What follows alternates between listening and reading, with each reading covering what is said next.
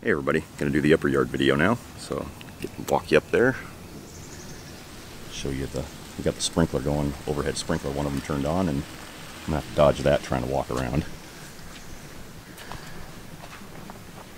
Runners are all coming out for the strawberries. Gojis have already got a lot more fruit set on here. You can see these are all to turn into little gojis. Here's some flowers, just as I slide down the trail. yeah, the bees are starting to come and do their, their work pollinating, which is good. Yeah, I know, little birds. I'm interrupting you.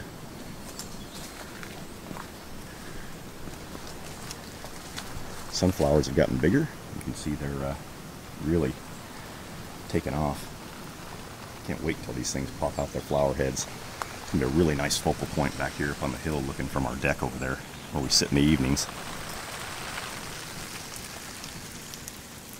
And let's see, I put the tree guards on the rest of the trees up here. I'm trying to dodge the sprinkler here while I, while I babble. Apple's doing nice. You can see the, uh, the tomatoes are turning. There's more of them ready to, to harvest. I picked a few of those when I was doing my work this, yesterday out here in the yard. Added the tree guard around the little fig tree there. I'm wondering if we're going to actually get a fig off that one this year, because yes, last year, that's a two-year-old fig I put in here. And the two-year-olds at the nursery when I was there, they had some figs hanging off, so hopefully we'll get some of those. I don't know if I dare walking over there to the garden. I'll just give you a shot here. You can see the nasturtium is coming up in the, uh, the garden box here. Sunflowers are over the tops of the cages now. I have to back down the hill here.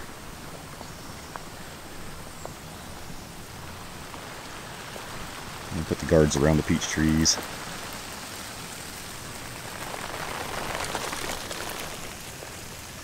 Currants are doing well. They look like they're really starting to take off in here. Really nice and green. Even these little guys. Yeah, Paula was showing her family around up here and they were walking all the trails and they thought it was just like a little nature preserve up here. You can see the squash. We've got tons of squash we haven't even got to yet. It's perfect size for doing zoodles. And there's some zucchini in there that are, you know, hanging off. Really big zucchini back there. See that? And the nasturtium there, of course.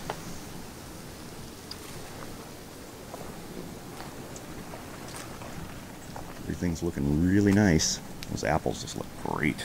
I mean, look at those. Those Granny Smith. Can't wait to eat some of those. Have to make sure and get them before the squirrels try to get in the yard. And you can see the uh, scarlet runner beans are over the tops now and hanging. This is what I, the kind of look I was going for. So I wanted to have them come over and then hang and then flower. So they'll uh, seeds and not seeds, the bean pods will just be kind of hanging here for you to harvest along with a wall of flowers. Which will look really cool I think you know? I really like to have the the whole aspect of nature hiding the I guess functionality of society. Because like you know I have this big long fence here as you can see and it's really kind of ugly. I mean sit and look at but when you have you know a flower wall along with food production it looks really nice and the hummingbirds. Yeah, you see there's a little little bumblebee up there resting. Probably got his fill of the pollen on the uh, scarlet runner beans. Tomatoes look really healthy up here this year too. Um, I think you know a lot of it has to do with having all these beans in production right here, dropping that nitrogen off their nodules. You know, being the companion plant for these tomatoes. So I don't think I've ever had the tomatoes look this healthy up here in these garden boxes. Looks like this one's gotten so big it's uh, kind of tipping back to the fence. I'm gonna have to. I think I'm gonna have to stake these today. Very happy, very very happy. There's our other fig. He's not as tall. He's a little bit more bushy. I think it's supposed to be a bushier fig. So we'll see how that one turns out. There's another shot of the uh, sunflowers in the garden from the backside as we dodge the, the waterworks. show you these uh, cucumbers here down along the fence because they're really putting out some flowers. So move this comfrey out of the way here. Like the cucumbers are trying to grab onto them. As you can see, there's a ton of flowers coming on all these down along the rows, especially the ones down there. They seem to be getting enough water now.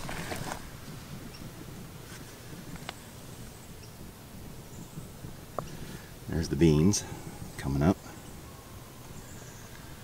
a bunch here. So these will be, you know, feeding us some nice uh, Monte Cristo beans. Looks like the slugs may have got into these.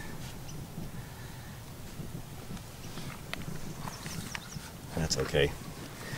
Figure I'm not going to worry too much about that. See the vetch. That'll be coming up, growing in there. At least the slugs don't try to eat the vetch. So we'll have some nice color along this fence wall here as the uh, cucumbers start to bloom and set fruit. So there you go. There's one there. Pretty good size one here. Grow, little guys, grow. I love my cucumbers. And we love our pickles. I guess right here is a wrap up on the uh, the lower yard. We'll show the uh, the squash. Tomato vine popping up through here for a little cameo. But uh, they're starting to turn. They're no longer the, uh, the light green. They're starting to get that yellow yellow tint. So that's nice to see. They seem to be doing pretty well. I had to add some fertilizer over here because I think it was getting a little deficient. You can see there's a little bit of yellowing on the, the leaf tips. So I added some organic fertilizer down in there. Thought about coming through and spraying it with a little bit of my organic uh, foliar feed. Give that to it. All right. Well, this has been Brian from P&B Homesteading. Hope you guys had a great weekend. I'll talk to you guys again. Bye. Bye.